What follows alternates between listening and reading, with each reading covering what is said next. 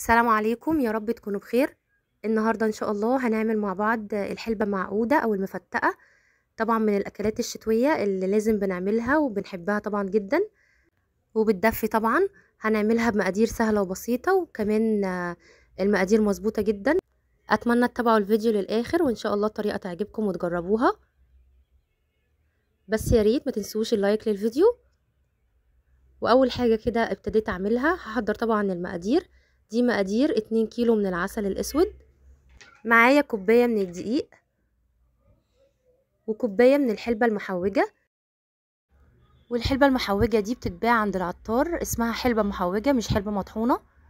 وكوباية كمان من الزيت وكوباية من السمسم وكوباية من السوداني كوباية كده من كل حاجة. وأول حاجة هبدأ أخدها كده كوباية الزيت هحطها كده في حلة على النار. وهستنى كده لما الزيت يسخن هنزل عليه بكوباية الدقيق. هقلبهم كده كويس مع بعض لازم أقلبهم كده يعني مدة كويسة لحد ما ألاقي الدقيق بدأ كده يبدأ يفور معانا. وأول ما ألاقي الدقيق كده بيبدأ يفور وببدأ أشم كده ريحته آه خلاص كده بيكون استوى معانا. وفي الوقت ده هبدأ أنزل بكوباية السوداني. بقلبها كويس مع مع الدقيق والزيت. بخليها كده يعني تتحمص شوية أو تاخد كده لون.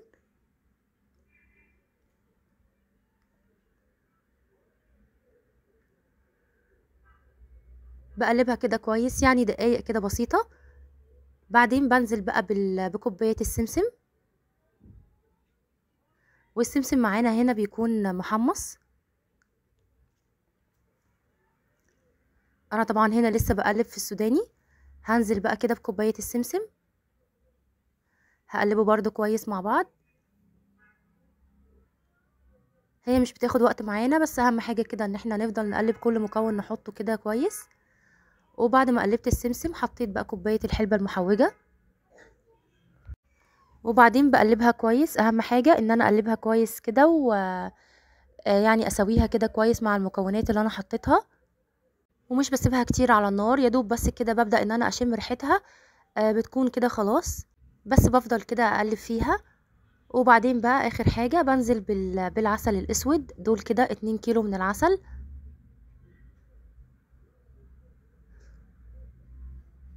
وأول كده ما بنزل بقى بالعسل بفضل أقلب فيها كويس طبعا جدا.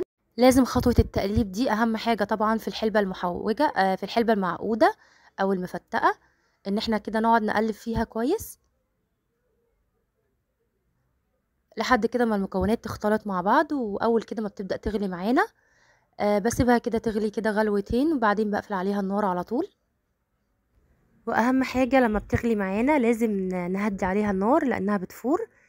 آه يعني ناخد بالنا من الخطوة دي كويس. أهم حاجة إنها تكون النار هادية عليها. آه مع التقليب طبعا كده المستمر لمدة كده دقيقتين أو خمس دقايق بالكتير. وبعدين نقفل عليها النار. آه بنقفل عليها النار وهي لسه خفيفة آه لأنها كل ما بتقعد بتتقل أكتر معانا كل ما بتبرد. وهي كده خلاص بدأت تغلي معانا سبتها كده دقيقتين على النار آه برضو مع التقليب كده. وده قوامها زي ما أنتوا شايفين كده خفيف. بقفل عليها النار كده على طول وبسيبها طبعا تهدى الأول. قبل ما أبدأ أحطها في العلب ده كده قوامها. خلاص بقى كده بقفل عليها النار وبسيبها طبعا تهدى كده شوية. وهنا خلاص كنت سبتها كده تهدى شوية.